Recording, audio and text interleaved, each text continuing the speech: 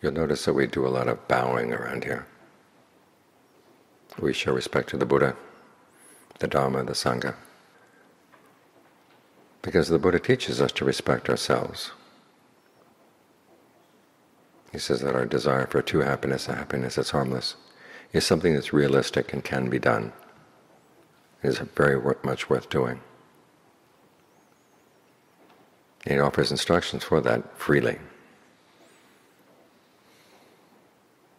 It's not like the world outside where they they'll buy your time and then make you waste it doing all kinds of meaningless tasks. Just so they can show that they have power over you. The Buddha never tried to exercise power over anybody, which is why we voluntarily bow down to him. He never forced it on anyone that he should be respected. He keeps turning us back on ourselves. We have it within us the possibility, the, uh, the ability to gain awakening, to put an end to our suffering. It's going to require that we work. It's not going to be easy, but it can be done. And that's showing a lot of respect for us. For us, He's not going to be there to be our safety net.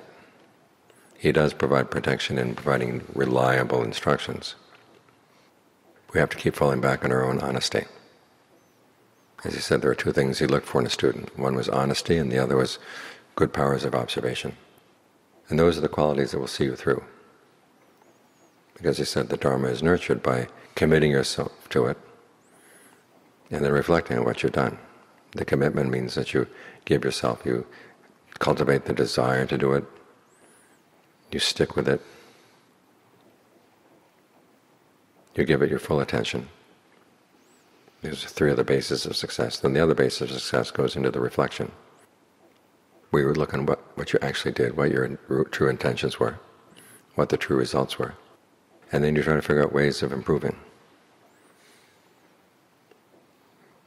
In other words, the Buddha is asking you to be responsible for yourself and saying that you can be trusted to be responsible. We all need some training to get started in the right direction because we do have some dishonesty in our in our minds. And greed, aversion, greed, aversion, and delusion, those are pretty dishonest. We have to overcome our dishonesty. But we do have the potential for honesty. Our desire not to suffer can be used to make honest people out of us. So when the Buddha shows us this much respect, we should have respect for ourselves too, realizing that we can do this, and not be willing to settle for second or third or fourth best. We will have to learn how to pace ourselves so we know how much we're able to, to take on at any one time.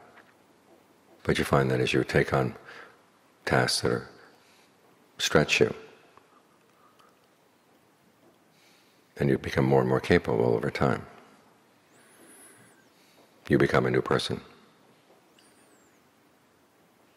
And that new person will bow down even more sincerely to the, to the Buddha, the Dharma, the Sangha because that person has seen the results that come from following their teachings and seen how truly worthwhile they are.